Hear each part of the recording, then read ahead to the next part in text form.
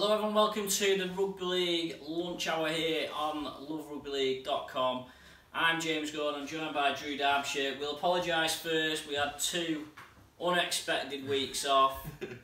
I can't remember why we didn't do it last week. Where did we do it? Oh, we had meetings last week with the big bosses. Big No, that was week before, wasn't it?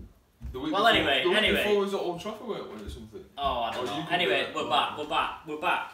For uh, Rugby League lunch hour, we're going to talk about, we're going to look into the playoff games this week. We're going to talk the latest Rugby League news and gossip as well. Please do leave your, your comments if you want us to debate anything in particular. Drew's got the phone to read the comments. He's not just Yeah. he's not just on Tinder here. He's, he's reading your comments. He's reading.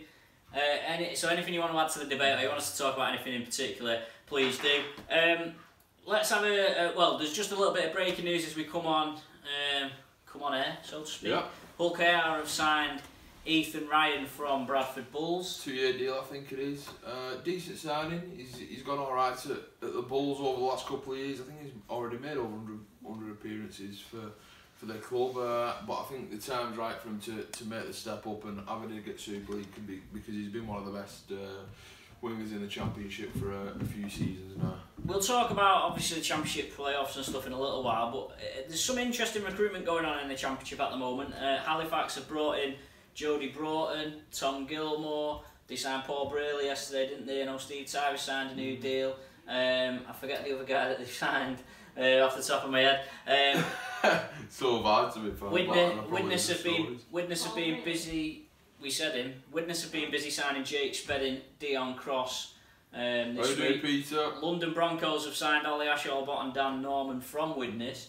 Um, I think Featherstone have been recruiting pretty well as well. They signed Ben Blackmore um, this week from We signed Sheffield. two Italy internationals, Dean Yeah, Parata and Alec uh, Susino. Susino, yeah. Um, so lots of interesting um, stuff going on in the championship. Of course, we don't really know what's going to happen with Swinton and whether some of their players may move on. Well, it's, it's going to be interesting to see how the championship clubs recruit and retain uh, over the course of the off season because obviously the, the reserves are coming back into play in Super League next year. So all that means the likes of Featherstone, the likes of Swinton, uh, will have to sign a few more players than probably what they, they were doing this time uh, Yeah. last year because Well, there's they, won't also- have, they won't have as many dual reg players anymore. There's also the argument as well. If you're a young player, we were talking about Matty Ashton before. Keegan Hirst, do you see him? Keegan Hirst, that's oh, right. right. Yeah. Um, it, we were saying before about Matty Ashton is players who are youngish. Thomas Minns as well. Thomas Minns. Sorry, That's sorry. a Featherstone one. That was a Featherstone one. Yeah, yeah, we're, we're getting all these comments through saying. Uh, I, I wasn't. I wasn't. I, it wasn't a definitive list. right. Um, Kieran I want to say this about Blackmore to to about about Matty Ashton, who's obviously John Warrington from Swinton. Now, for players like Ashton, who are maybe, I mean, obviously, I know he's Championship Young Player of the Year, and obviously, you know, best young player in Championship in theory. Uh, the point I'm trying to make is, if you're say you're under 25, you'd rather give it a go full time rugby, wouldn't you? Earning 20, Yeah. 25, 30 grand a year than you would maybe playing part time for Swinton and being a, an electrician on weekend. Because I mean, that's the dream, isn't it? Well, the dream well- is to, to be a full time player. Right, this is a segue, but you don't you don't even know this is a segue because I've got a nice little feel feel good feature coming up on the website on Monday. Uh, so keep an eye out uh, for that with Matty Ashton. I spoke to him after he won his award at the Hilton Hotel in Deansgate uh, on Tuesday night.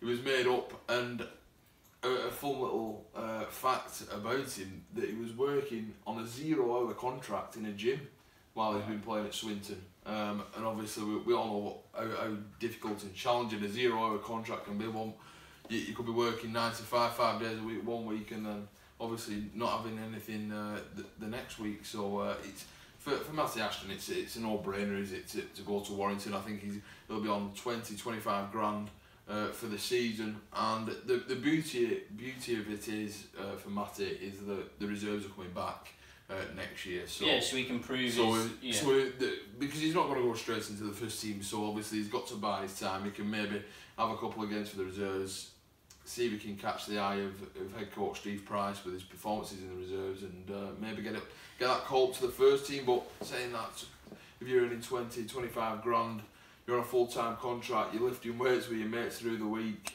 uh, having massages and recovery sessions, and then uh, getting the ball skills out on the field. It's It is. It, it, it might not be the best paid sports show in the world, but it's Yeah, it's, I mean, it's, I- it's still up I mean, there's a- one of the best. There's always a lot of moaning about salaries and player salaries and stuff, but I think rugby league players have got to have a bit of perspective. The size of the sport, they should count themselves very fortunate to be able to command the full time salary playing rugby league.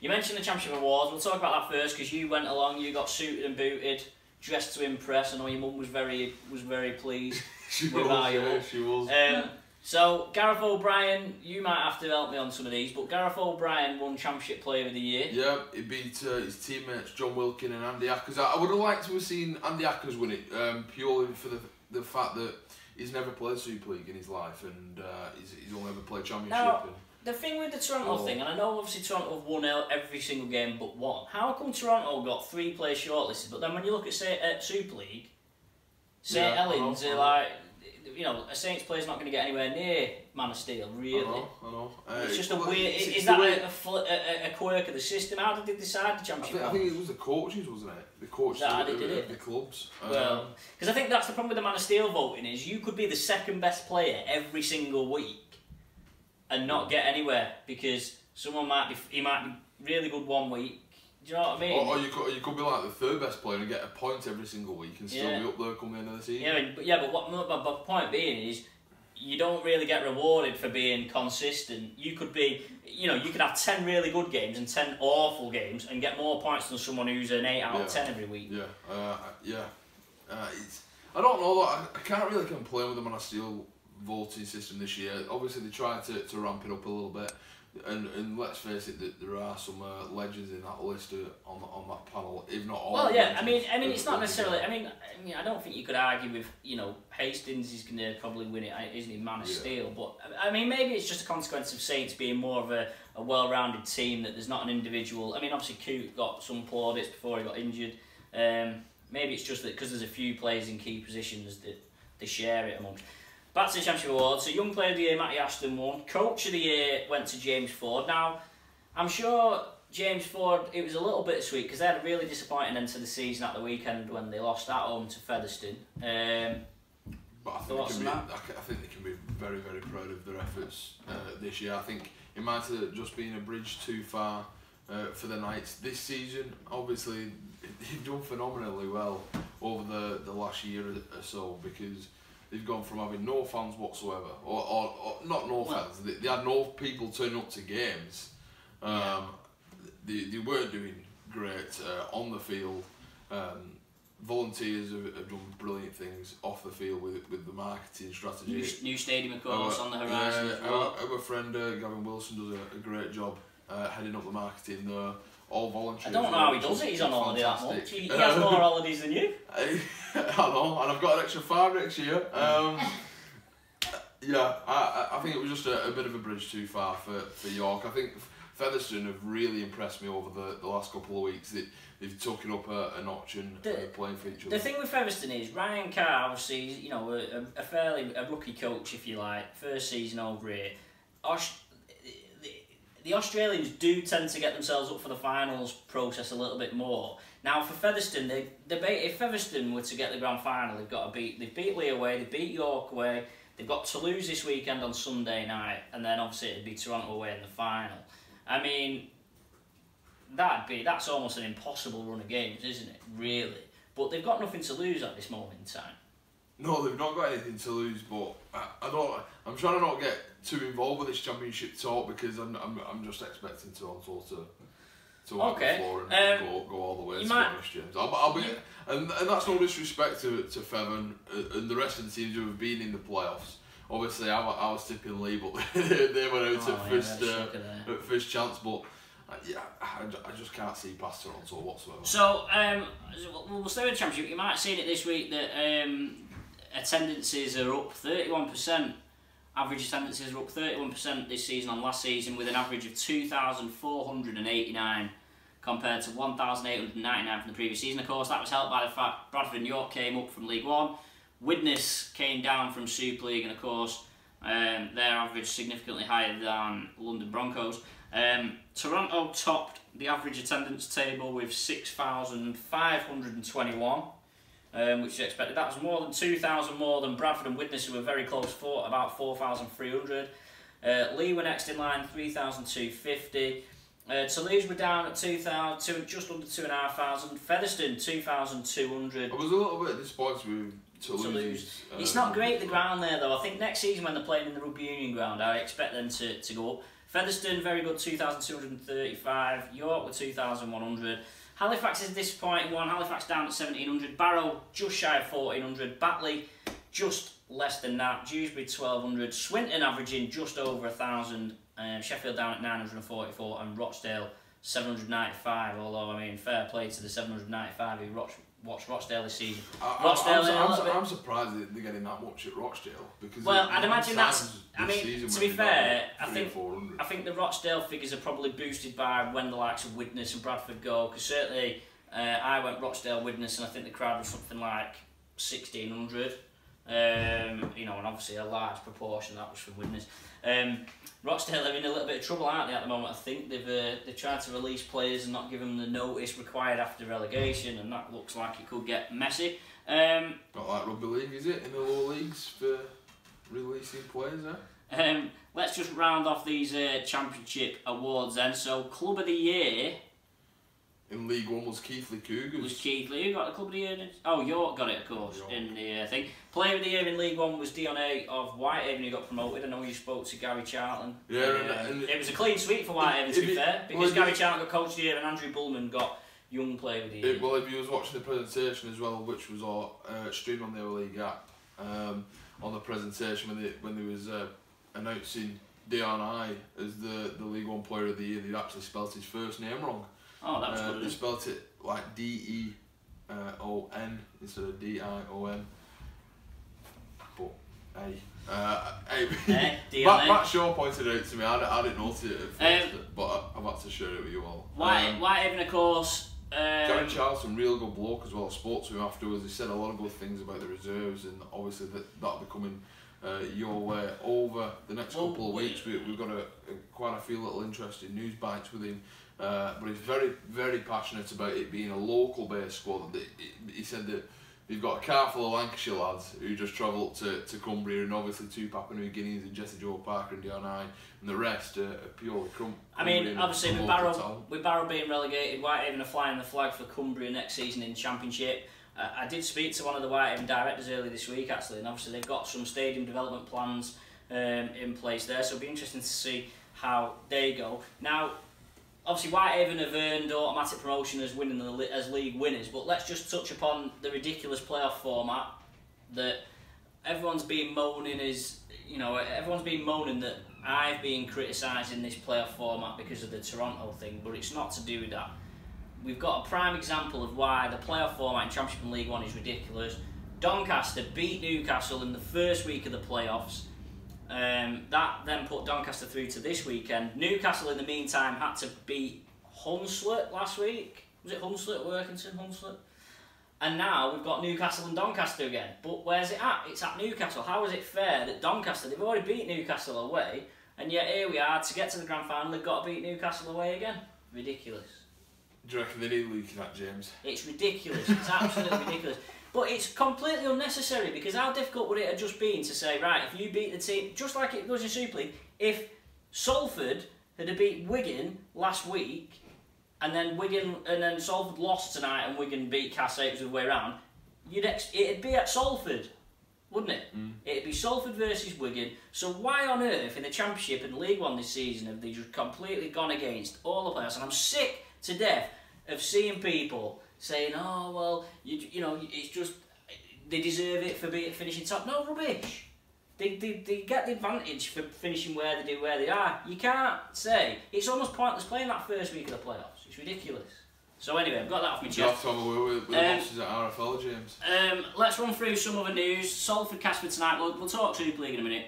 Um, Robert, we've got a couple of comments oh, coming in as well. Um, Pete Colley says, How do lads? How do Pete? Kieran Thorpe says, Ben Blackmore to Fev is an outstanding signing. Uh, I agree, Well, fair. I mean, I mean- Sheffield. Yeah. She- Sheffield had a Sheffield had a decent squad this year, but you've got to worry about. I don't know if you've seen it on the site last week. You've got to worry about the stadium issue at Sheffield because it's absolutely not fit for purpose. The Sheffield ground. Um, there's been a massive issue where Sheffield United won the bid or the tender or whatever it was for developing the Olympic Legacy Park. Now, because Sheffield United have been having some ownership battle, the, there's some um, prince from, I can't think what country he's from. He's like an Arab. An Arab prince has basically got full, following a, a legal battle, he's now got full control over Sheffield United. Um, now, the plan was originally that Sheffield United women's team would develop the stadium at Olympic Legacy Park so they could play there. Um, my understanding is this Arab prince has got very, shall we say, traditional views. So there's some concern as to whether Sheffield United will even have a women's team moving forward. Wow. So now Sheffield Eagles find themselves in a bit of limbo um, because there's not, there's just nothing at that ground that you can generate revenue from in terms of yeah you can get people in, but very little hospitality. There's very little. It's, it's just an, you know they shouldn't even be. In my opinion, they shouldn't be allowed to play championship there. But that puts Sheffield in a very awkward position because they've had a decent team. They won the 1895 Cup. They had a decent team together this year. I know Pat Walker's retiring. But it's like, with, if players like Blackmore and Anthony Thackeray maybe, and players like that, they need to be trying to keep as Yeah, many of them as possible Definitely. to Uh, a couple more comments there. Taylor says, got England Rugby Union on the teller, 18 minutes on the clock and 7 points on the board, but not sure they've started yet. To be fair to the Rugby World Cup, and I'm going to chuck this in now.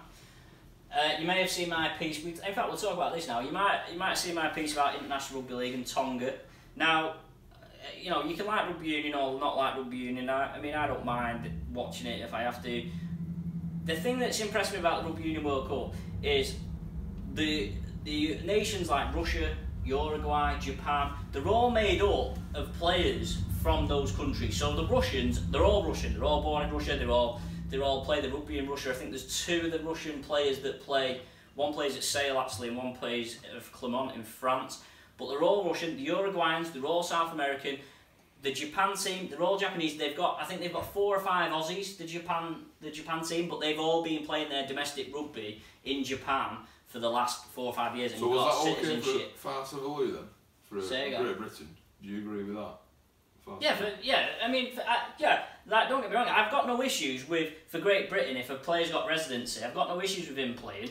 My, what I'm saying, I'm to, the what, on that. what I'm saying to you is, is that rugby union are developing their international game the right way. They're not just they're not just getting a load of Australian lads together, calling them Scotland and playing them in World Cup. They've got actual genuine players there. And Uruguay beat Fiji. Um, you know, if you see that, and I just think it's a, it just highlights for me the weakness of the international game rugby league. We'll talk about Tonga. So there's been a big fuss about Tonga this week. They've had Israel Folau that they're trying to get in, which is a, a farce in itself. Um, but then there's been a big fallout where Kristian Woolf left. They got a new coach in. He's left. Frank Endacott's doing something there. Fifita and Taumalolo are refusing to play for Tonga um, because of a fallout with the governing body. The Prime Minister's come in and said we're going to switch the governing body from you to someone else. Um, fourth, this is the fourth best rugby league nation according to the world rankings, and it's just an embarrassment. Yeah, it is. Um, obviously, there's a new board uh, at Tonga uh, Rugby League, and the players are just at loggerheads with the board. Uh, they, they sacked Kristian Woolf last month, um, appointed Garth Brennan, the, the former Gold Coast Titans bosses, as uh, the new coach for the World Cup Nines. And then they also appointed former Wigan and Widnes boss uh, Frank Endacott to take charge of the two uh, 13 aside test matches against Great Britain and Australia this autumn. Endacott said privately uh, that he will be prepared to step aside for Woolf to return uh, just for the good of the game, while Brennan uh, resigned earlier this week um, just because he, he does he realises that it's a political debate and it's What? just a, a big dispute uh, between the players and the board. Uh, so it just seems like one big mess. And I- I- but You what- can expect this from like the the fortieth ranked team in the but, world. but Chris, Kristian Woolf kind of revolutionised the international game in 2017. Uh, somehow persuaded the likes of Andrew Fifita and Jason Taumalolo, among others, to, to switch their allegiance from Australia and New Zealand uh, to represent the, the country of heritage, which is Tonga. Um, so there was a breath of fresh air in the 2017 World Cup. They, they breathed life, them and Fiji, into uh, the international scene in rugby league. So why? And, and they had a fantastic tournament. They reached the semi-finals. Only just lost to, to England, England, yeah. in the semi-finals. I mean, the, So the, the why- big the big problem I have with all why this. sack Woolf? I don't get it. Well, I mean, I mean, the big problem is you've got like, I, I think so. I, I did a my edit column this week was about this very issue. Um, you know, you look at the 2013 World Cup, Italy and USA did really well, and what's happened to them since? Nothing. Because all that happens is they get players together for a World Cup. There's no lag- lasting legacy. There's no domestic rugby league being grown really.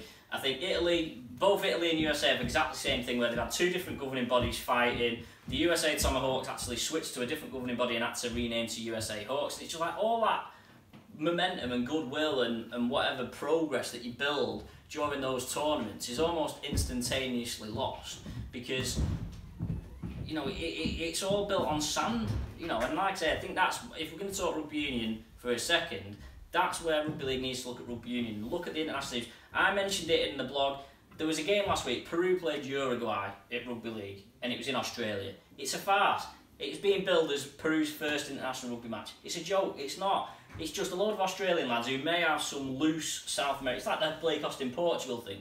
They've got some loose South American heritage that have played it international in Australia. No one in Peru will have a clue about rugby league. No one will even know that game's going on. I know what you're saying, but I'm on the, the USA rugby team as well, and there's uh, players from New Zealand. No, don't get me wrong. I'm not saying that every. Well, I'm not saying everyone. No, I'm, Uh, I'm not saying. sorry.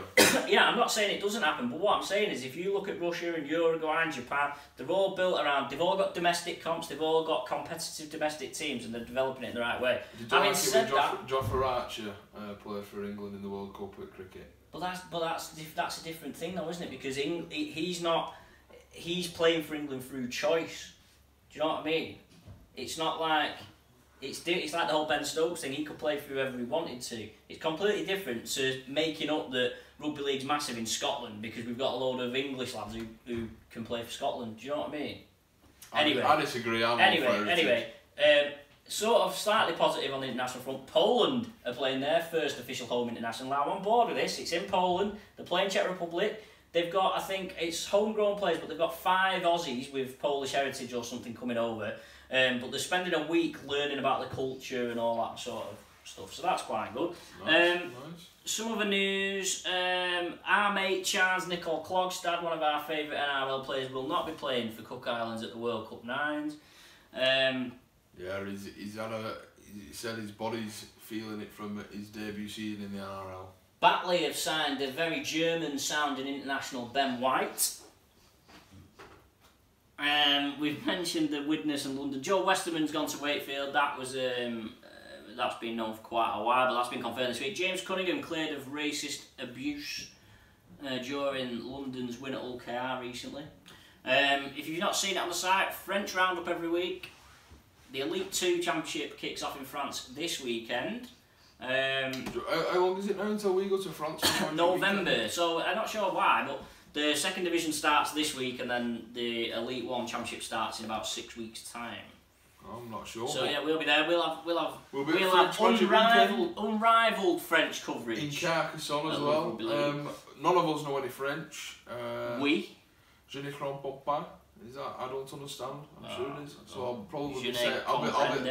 I'll be saying that quite a few times. Um, St Helens have confirmed Luke Douglas and Liam Cooper will leave. I think Douglas is retiring, isn't he? Liam Yeah. Cooper is meant to be going to Widnes.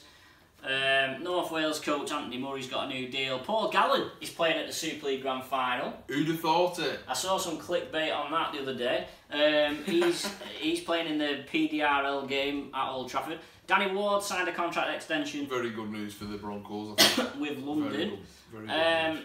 Jamaica international Wayne Reittie has signed a new deal at Batley. Nine caps for the Reggae Warriors. Um, quiz this week. Can you name the 20 clubs that have played in the World Club Challenge? That's a quiz on the site if you want to have a look We've look had at that. quite a, a, a couple of good reviews on that. We've had a couple of little disputes as well on it. Um, just Disputes over what? Uh, so, well, eastern suburbs. Is it? It was eastern And suburbs. you're giving away one of the answers here. Well, you, you asked me the question, James. Well, um, Benji Marshall's going to carry on again next year. Arthur Romano has signed a new one-year deal at Catalan. I think he's ended the season. Well, Hull KR confirmed signing of Jordan Abdull.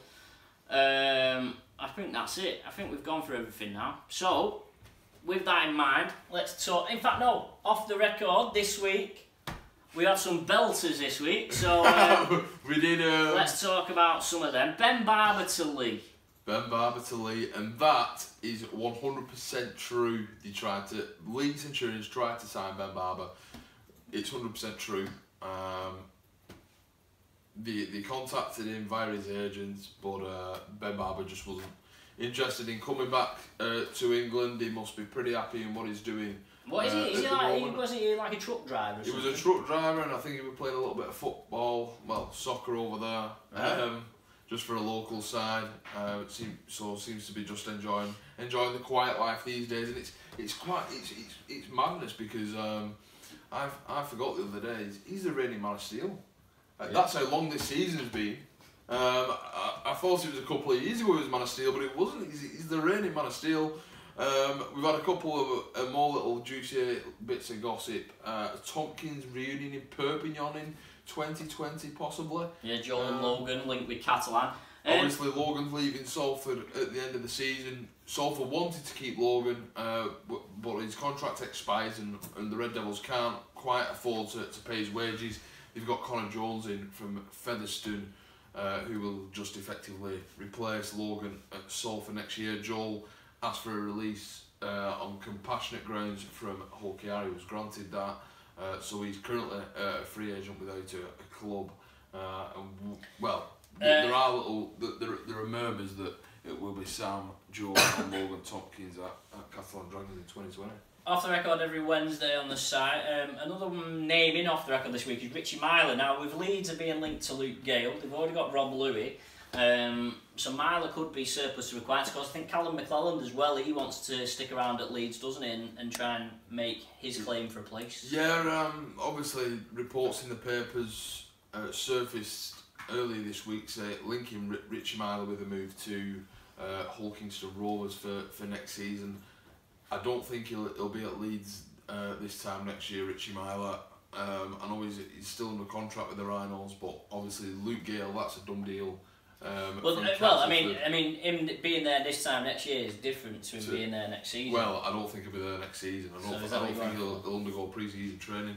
Um, Luke Gale to to the lead is hundred percent done. Um, so and then Richardson it- it- to Cass. well, uh, so it's so it is. Uh, it's being reported. I think I think Richardson will be a, a cracking signing for Castleford, but it it will be interesting because Richardson and Trueman might be the youngest halfback combination uh, we've seen for, for some time. But both uh, fantastic players. Obviously, Leeds' is starting halves next season will be Robert Lui and Luke Gale, um, and obviously Cal McClellan wants to, to fight for his place at the club as well. So that that doesn't really leave uh, Richie, and I don't think Richie Myler will want to be a backup, will he? He, he won't want to be playing reserves one week and, and not the next. Obviously, he's- been with a move to Ospreys in rugby union as well in previous weeks. I, I'm not too sure I don't. I mean, the thing with Myler is that there he doesn't, in Myler from union. he doesn't strike me as a, a rugby union sort of player, really. I mean, he's not quite. You know, you won't play him scrum half necessarily. He's not. Maybe he's not big enough. His kicking game game's not good enough to be a fly half. So um, I'm not sure where we would play if he switched to rugby union. I'm not, I'm not sure where he can, where he can go in, in rugby league. Uh, which Toronto, would seems- Toronto have a look at him? Because I mean, Toronto, you presume Toronto have got Mellor and McCrone, haven't they, at the moment? Now, is McCrone going to be up for another seat and go around again and have another season and, and have one in Super League? I reckon he'll, he'll want to play Super League with Toronto because he, he's been there from the start, hasn't he?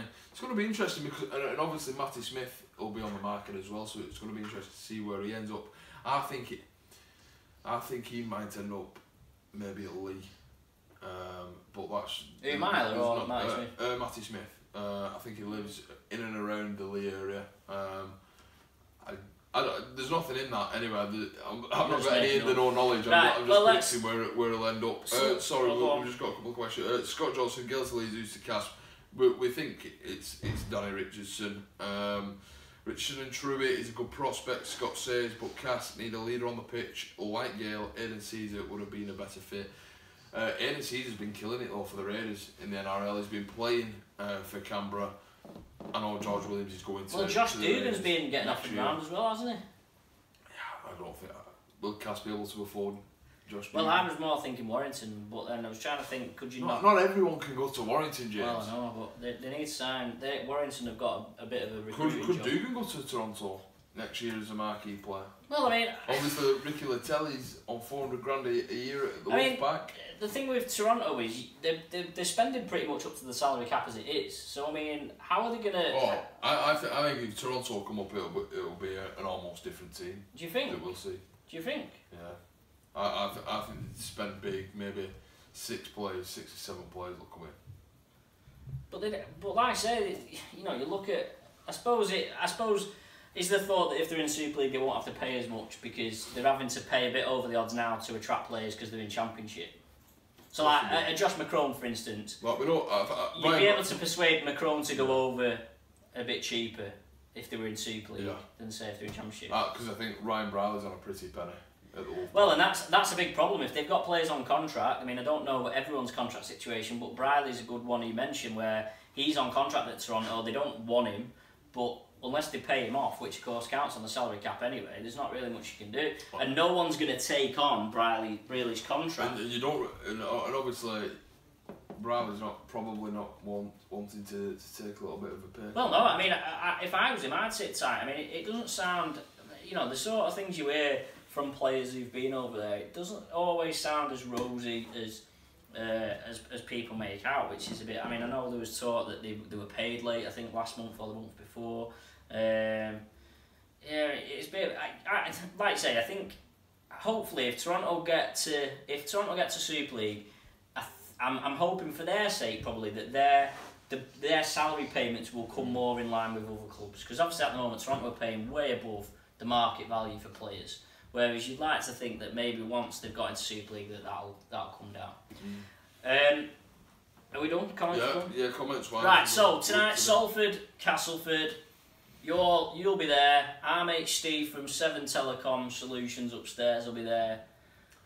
Are you, Salford were I've- Salford played well last week at Wigan, didn't they? It was, it was a really it was a really good game. It was a fantastic game, and I think that was a perfect advertisement for, for Super League playoffs. Uh, both teams going hard at it, and I, I think the o- the only difference in the game was just Wigan's goal goal line defence. They, they scrambled really really well against Salford. It, it's not as though the Red Devils didn't uh, throw anything at uh, Adrian Lam's side. But I'm tipping Castleford um, this week. I think Castleford just know how to. I know they've not got much experience in playoffs themselves, but they've got they've certainly got a lot more um, than Salford over the last couple of years. And uh, I think Daryl Powell uh, can take a lot of confidence from, from last week's game. Um, The um, I think it's only Yeah, the second time Salford have been in the playoffs, isn't it? I think the Yeah. second time. The- I think they, they made it under Karl Harrison. I think one year. Um, for me, that game last week, the Wigan Salford game, perhaps highlighted a few things about Super League that it was it, almost was like a, it was a fantastic forward as well from Salford. Yeah, it highlighted the good and the bad, I think, of some, or, or certainly, you know, like I say, the Salford following was great. That made for a great atmosphere. I think that highlighted the fact that, as much as it's not about away fans, blah blah blah blah, it's a much better atmosphere. It looks much better on TV when you've got home fans and away fans. That's a fact. Um, there was a few decisions in the game that I thought um, were a little bit. I'm not criticising the referee, but it, it, it comes down to you know when the ball comes loose in a tackle, and it's almost like they give it as a knock on or they give it as a penalty, and depending on which one of those things they come up with, it can swing the game. So I think there was a couple of instances. I think where Salford lost it and um, it was given as a knock on, and then you know Wigan lost it. It was given as a penalty. I think it was a good example because the game was played at such a pace. A good example as to why Super League needs a second referee just to police that sort of play the ball area. Um, I thought it was a good example of that. Um, the Jackson Hastings. What did you think of the eight point try thing? I thought it should have been an eight point try. Yeah, I, th- I think it should have been an eight, an eight point try. Um, And and I didn't, think, I didn't really see anything in it. Oh, it, well, I don't. I don't know, think when- it when was. Oh, he went in the- his eye and the all that. little barnyard. Obviously, it was just it was just a con- confrontation between the pair. Now, Um, and and at the time, Hastings played on. It was only a couple of tackles later. Yeah, that he got the pain, yeah. Uh, held The- his eye. the so I, with I don't even know if it was in that involvement with Clubb. The thing with the eight point try is I don't necessarily think it was malicious from Tony Clubb. No. Just but he did hit him on the back of his head Yeah. with his elbow. What gets me is one, why wasn't it reviewed on the video? Two, they obviously the disciplinary said that it should have been an eight point try. But I mean what use is that to Salford now? Mm. That they're saying, well and he and Clubb obviously hasn't had a ban. But then, uh, so he's almost like not being punished. They basically said he's had, he's done the offence and he's not being punished for it. So how does that work? I don't understand how I'm that not, works. yeah, I'm not sure how that works either. Um, I mean, it's difficult because you know people always say it with on report, isn't it? If, like if you get put on report for something, the club that you're playing against doesn't get any benefits. So like, what can we say? We can we can't really say that next time Salford play we're going to get a two 0 head start. Do you know what I mean? It's difficult, isn't it? Yeah, uh, yeah. He probably he probably should have got he should have got an eight point try at the time of the game, and I, but I don't think it was malicious enough for a ban. Uh, if that makes sense, I think. But yeah, it should have been So- point try. So Salford cast tonight. Jackson Hastings potentially his last game, definitely his last game at the AJ Bell for Salford. Um, now tomorrow night Saints Wigan, big game. I think. I almost think that. I don't know. I, I think Saints will win, but I actually think it'd be better for Wigan if Saints win because I just I don't know I just sort of feel like Wigan will have a better chance in the grand final if they've not win. they've not like riled Saints up. Yeah. Do you know what I mean? But then at the same time, I suppose you could make the argument well if Wigan win, then they've almost got a little bit of a voodoo, a bit of a hoodoo, voodoo, whatever you say. Yeah, um, I'm, I'm predicting. I'm predicting Wigan by four. I, I think. Well, you I, would. I no, I, genuinely. Well, I'm, I'm predicting Saints beat Wigan earlier on this year, but I think the tide's turned now, and I think um, W- Wigan are playing some unbelievable rugby at the minute, and the defence has been sensational in recent. Well, like Wigan's defence is in in the last couple of weeks has been like it was under Shaun Wane. It's been ruthless. Um, they've been boosted by the return of Ollie Partington this week because he had a ban um, last week against Salford. Um, I think Wigan by four. It's going to be. A, I think it, it, it, I think this has got the ingredients to be a Super League classic. I think this has got the ingredients to, to be a game that we look back on in maybe five, six years and, and we'll remember fondly. Um, because both teams are playing at, at their absolute best. Uh, but I don't think the week off last week would have favoured Saints. Well, listen, I was just gonna, I was just going gonna say this. Obviously, if Saints lose, is it almost better for Saints to lose tomorrow because they've had so few intense games? Because obviously they won the league years ago, and like they've had a week off now since the last league game. They'll play this week. If they win, they've got another week off. Effectively, you go to the grand final having only played one game in the last three weeks, hmm. and it's like, you know, would you be better off having to play Salford or Castleford at home, leading into the grand final? Possibly. Uh, if, if, if I was a player at a club, I wouldn't want a week off because it stops momentum, and I don't. Yeah. I don't care which way you look at it. Obviously, you, your bodies might might might appreciate the the rest uh, that you get from having no serious Yeah, yeah. contact. Well, I mean, I think Saints. I think the Challenge Cup final is a prime example of that, isn't it? Where Saints have been so good up to a point, they've started resting players and started trying to preempt it, and they've completely lost the momentum, haven't they? Yeah, um, yeah. I, I just don't. I don't. I don't rate weeks off. I think they're kind of being punished for having for having uh, for, well for doing so well earlier on in the season and running away with the, the league leaders shield. Um, good, good that they celebrated that by the way.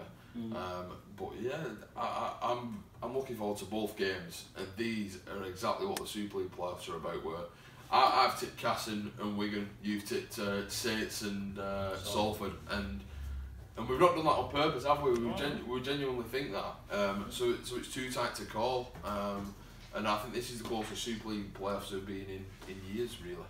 So that's tonight. Salford Cask Saints We've against got a Wigan. couple. Uh. Scott Scott Johnson, I think he's a cast fan. He says uh, he put Coif, which is I think come on you third. Uh, Scott says Zak's had a lot to do with Wigan's defence. The goal line D has been brilliant. He has. Uh, Zak Zak Hardaker this year has been incredible. Uh, he's had a, a fantastic year at Wigan in attack and defence. He's been a lot more solid and reliable uh, than what he's been in the past, where he's, he's been a little bit. He's, he's had a little bit more flair in his game in the past, but he looks much more solid and reliable, especially under the eye ball. He takes it with ease. Uh, his goal line defence, and he's always speaking to the players in front of him. He's always speaking to Wigan's defensive line, telling them to shit wide or or come in tight. Uh, at Somewhat wide. Do you, um, do you think uh, do you think Adrian Lam has learned over the season? Because of course he came in. I mean, obviously they had all that Shaun Edwards nonsense, but Lam was very like, I want to change the style of play. I want to play attacking rugby. I want to do X, Y, and Z. And it's only since they've sort of gone back to basics and focused on the defence that Wigan have sort of been able Yeah. to go up again. Is and- that is that maybe systematic of how the game is over here? Maybe. Well, I know, I know that Matty Peet uh, returned to, to Wigan midway through the season. Uh, I'm not entirely sure on his role with the club. He, he- was head of youth last time, but he's not head of youth this time because I think that's taken up by Mick Cassidy, who, who came in at the start of the season from Widnes. And I think Matty Peet's um, actually had a lot more work to do with the defensive side of, of Wigan uh, since because he, he went off to, to Sale Sharks but returned to the Warriors earlier in the year. So I think he's had a, a lot to do with it. But I think it was always just going to, going to take time for Wigan under Adrian Mm. Lam because it's such a different style of, of play uh, than, than Shaun mean, Wane did. I mean, it's pretty it's pretty mad, really, when you consider that Le- at the start of the year, Leeds and Wigan were both sort of in this like mini crisis, and you look at Leeds never really recovered from it, just about survived relegation, but Wigan have gone from that point to effectively grand final contention. You know, It's yeah, it, it has, it's been an incredible rise for Wigan this year, uh, especially when you consider at Magic Weekend they were seventh, Warrington was second. were sixteen. Was it sixteen points they were behind? Yeah, and uh, I mean, I, like, around I mean, we haven't talked about Warren actually, Well- which we, we maybe should. Yeah, Louis Banks, uh, cheers for getting in touch, Louis. He's, he's, he's messaged us last couple of weeks saying, Where's the show? We are sorry. Um, we, we Yeah, we. reasons uh, as Out well of control. We, yeah, we, we couldn't have done it last week. We couldn't do it the week before, but we're back. We're hopefully going to be Why's back for the back? foreseeable every single week, every Thursday, twelve till one. Um, he says, where do you think that passes off to? Because uh, he was dragged off with 20 minutes to go on Thursday. Uh, it shows he has no future at Warrington. Well, let, yeah, Well, let- we, we, we've been told that Dec Patton wants to stay at Warrington next year and wants to fight for his place. Um, but obviously, you, you've got Gareth Widdop coming over from the NRL. So well, they're so going to need a back partner. They can't just run with Austin yeah, Widdop. yeah, you're auto, you're automatically going to have Steph Ratchford as your fullback and Gareth Widdop and, Blake Austin as your starting halves. But they, I mean, Warrington have got a massive issue, haven't they? I mean, But to you've, go al- from you've, you've also got uh, Danny Walker as well waiting in the wings for it. For Well, let, let's just talk about Warrington. They've gone from being surefire second place to finishing fourth and then losing in the first week of the playoffs. That's a disaster for Warrington, it has to be said. Um, but they won the Challenge Cup, so you know it's it's a bit like well, okay. But of course, the league title is the one that Warrington desperately want, and there is they've been as far away from it this year as they have been for however many years. Now, to go from where they were in second place, let let let's not let's not sugarcoat it. It's been a disaster. They've been the worst team in Super League over the last 10 rounds of the season. They lost 9 of the last 12. They were actually the worst form team out of the whole 12 teams in Super League over the last the, for the final 10 games, which is really poor. They've got a bit of a rebuilding job. I know they've signed Widdop, but they're losing Bryson Goodwin.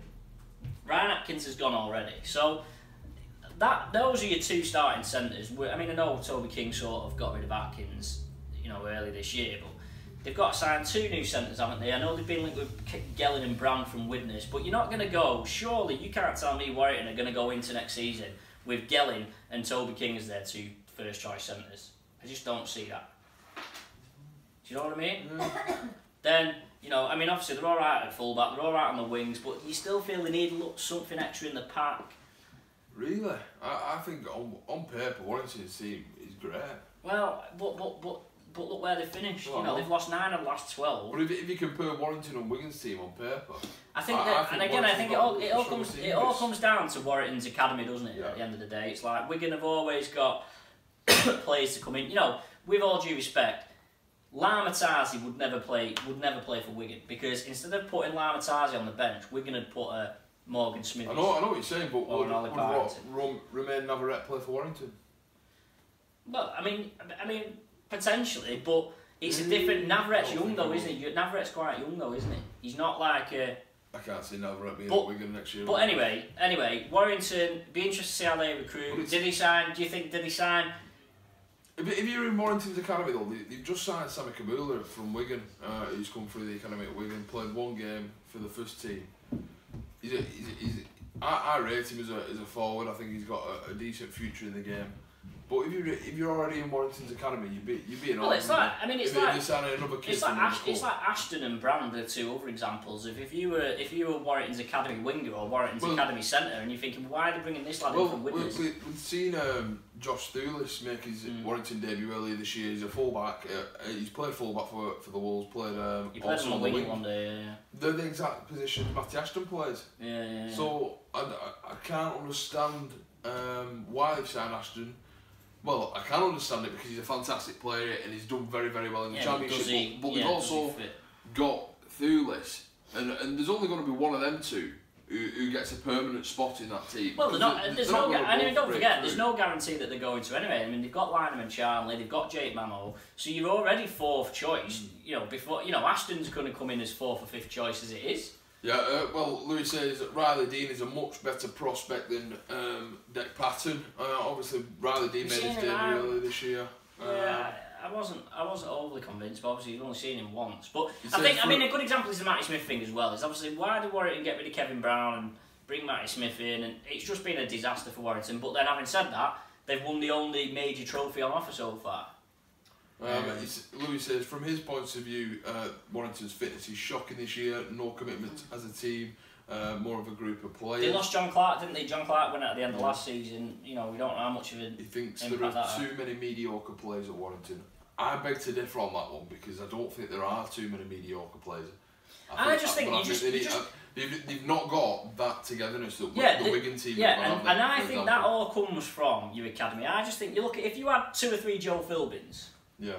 Like, you know, like Wigan have got Parton and Byrne, Smithies all coming in. You know, Saints have got Thompson, Matty Lees. You know, those sorts of players that just give you that extra 5 or 10%. And for whatever reason, and Warrington now, don't forget, Warrington have now got an unbelievable roster of staff in that youth. They've got they've got Paul Anderson, haven't they? Um, you know, they've got loads of people in the club to develop this, and, and presumably they've identified it as a as an issue, and they Yeah. need to work on it. But they're going to have to start seeing results soon because otherwise they're going to be left behind. Um, that- got Lewis Johnson as well, He bought from Castle 50 grand. well, that's what I mean. It's like why would you spend that amount of money on a player that he's still not getting in the first team? because but but that that annoys me a little bit because the bought him as an academy prospect and obviously uh, we're doing a lot of comparisons with Wigan but it, say if it happened at Saints and they bought him at Saints would you not rather give Lewis Johnson a spot on the bench Yeah, for, for a season Lamar Lama? Yeah, no, I Um, completely agree. Donald says some attitude by Wigan to graft the way to be 80 minutes from the grand final without playing anywhere, anywhere near the best. Uh, still don't think uh, Ian knows his best attacking combination. Uh, Lam, sorry, uh, knows his best attacking combinations yet either. Plenty more to come.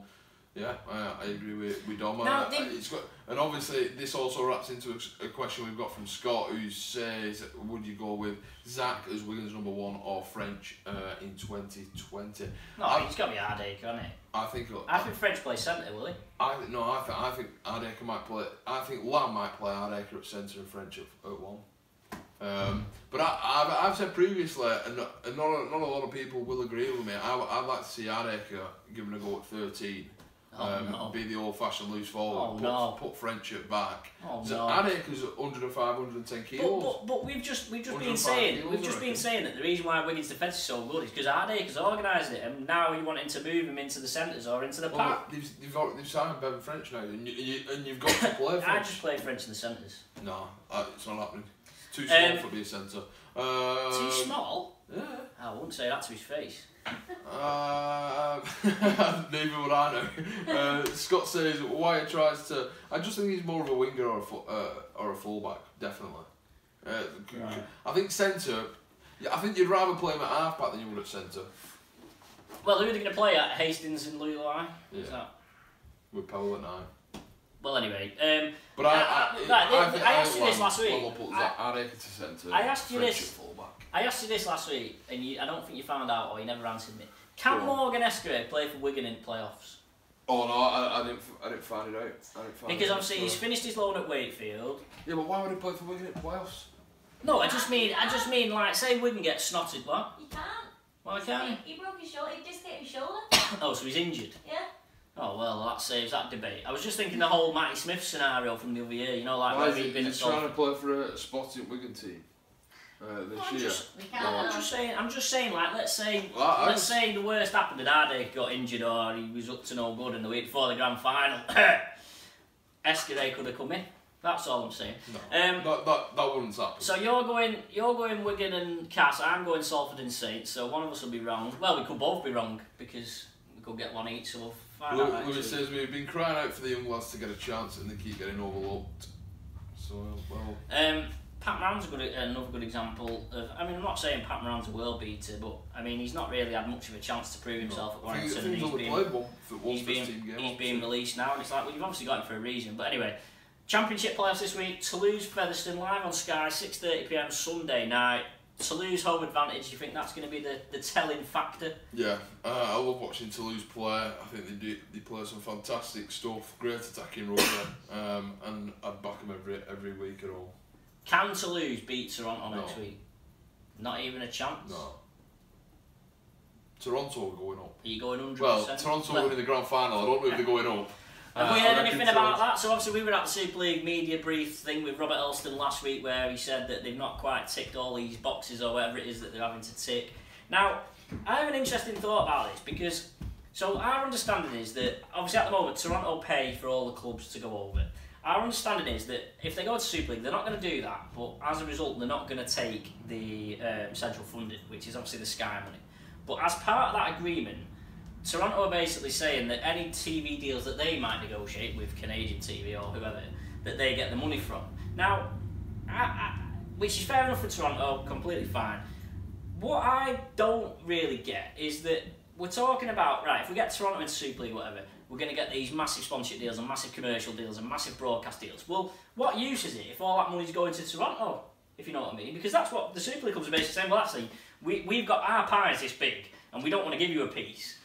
And then what's going to happen is, well, or the theory is that Toronto all of a sudden they're going to have this massive pie that all the Super League clubs are going to be looking at, oh, bloody hell, we could have given our little slice of pie for a massive slice of Toronto's pie, but they've not given it. And that's that's the thing that's confusing me slightly at the moment.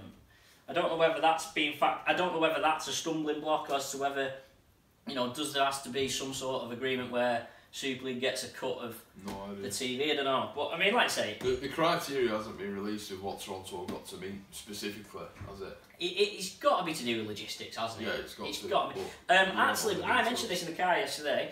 Um, I think the loop fixtures actually plays massively into Toronto's favour here because they Toronto could in theory play home. I know there's obviously a big thing about blocks and all that sort of stuff, but if Toronto play their six loop, is it six six loop fixtures on the road, i.e. in the UK, they could have them at the start of the season. So play home away for the first 10, 12 rounds the six home games would be on the road, and then they can go because obviously there's an issue that they can't play in Canada until like start of May. So I actually think that works because then every team has to go to Canada once, so it's fairer. They can get away with the home and away. I mean, obviously it's only fair until they get rid of the loot fixtures. Uh, which they need to get rid of the loot fixtures because the loot fixtures are pointless, aren't they? Well, yeah, I mean, well, th- well, yeah, well. Get rid of, yeah, get rid of. Oh, we- we've had this conversation before. Get rid of Magic. Get rid of loot fixtures. yeah, just and have 14 teams. And have fourteen. Teams. But the problem is then is when you do that, Toronto can't play at home until April. You don't like Toronto, do you, Jim? I, I, listen, right? I ain't got any. I haven't got an issue with Toronto. Uh, my issue is more with the rugby league as a whole in terms of well, what the hell are we doing? What's the structure going to be? Why, why are you aiming towards? Lee, Louis what? says that Toronto can only get a deal for broadcasting their own games, which is currently uh, about eight games due to the weather. Uh, would it be an issue if Fox Sports shows their home games? I don't think. Why, why would Fox Sports show their home games? I think the big issue is filming, isn't it? Because obviously we've seen that Toronto have cancelled a few games this year because they don't want to have to pay for um, the, the filming. So whoever films so that Sky will outsource the filming of it to televideo or something like that. And, and obviously that's why some of the games haven't been on. Uh, NRL playoffs this week as well. So tomorrow's game, tomorrow morning's game is Canberra against South Sydney, which is the Battle of Great Britain. Seven British players on show. Yeah, yeah. Hey, that, that's quality though, isn't it? That's uh, that's great to see. I, I want to I want to see all all of our best players go over there. Why not? Because Yeah, it's, yeah, it's the elite league in the world. I'm Yeah. sick. I'm sick of everyone of hearing everyone say uh, Super League have got to try and retain its best players. Well, not not necessarily because, like we, we was touching on Wigan, we've got we've got all these great young kids coming Yeah. through anyway. At, at, at all clubs, we, not just Wigan, we, we see great kids coming through at all clubs. Um, Yeah, if, Let- the, be- if, the better, if the better ones go to the NRL, let then a, more let a George play. Williams, let a Luke Thompson go to, to the NRL because we want to the see next him one through. thrive. We, we want the best players be playing in the best leagues. That's what we say in football, and it works in football. The, the, the best players play in the best leagues, and and that's end of story. But it's it's going to be a great game. Se- Seven English lads on show with it with the, the national coach as well. I know he's not English, but with the national coach uh, involved as well in Ten- Wayne Bennett. 10 Uh, to 10 to 11 kick off that one tomorrow. Saturday, Sydney Roosters against Melbourne Storm, another 10 to 11 kick off. Saturday afternoon, conference, uh, the National Conference League Premier Division playoff semi final. Uh, Wath Brow Hornets against Thatto Heath Crusaders. Um, Sunday is the League One playoff eliminator. I don't know what they're calling it. Newcastle against Doncaster. 12 noon kick off. The winner meets Oldham, don't they? The winner plays Oldham at Oldham uh, in the League One Grand Final for promotion to the Championship. Um, women's Super League action on Sunday as well. Uh, Castleford take their perfect record to St Helens. Bradford against York. Featherstone against Wakefield. Leeds against Wigan. And that is almost all. Yeah, uh, David just says is Lamport Stadium up to Super League standard? I think it is. Yeah, it is, Uh, it's so. it's a pretty good It's ground to be fair. well, I mean, it's a strange one when you look. It's got no cover, has it? But I mean, I can't see why it wouldn't be. A well, Super it's League no worse than Castleford and If you compare it to the Mobile Rocket Stadium Yeah, at yeah, Wake, yeah. it's, Um, it's got to be Super League standard. But uh, thanks for all your questions. Uh, appreciate it as always. We're getting more and more each week. Uh, we enjoy the debate. And, We uh, do. And that's it. Well, Yeah, that's thanks for joining us every Thursday, 12 till, well, every Thursday subject to uh, yeah, issues out and beyond our control. Every Thursday, 12 till 1 on our Facebook page. We'll also make this available through the website. It's on demand on Facebook, it'll go on YouTube as well. Um, thanks to Betfred for their sponsorship to enable us to keep doing this. Um, and we will see you next week. Enjoy the playoffs this weekend.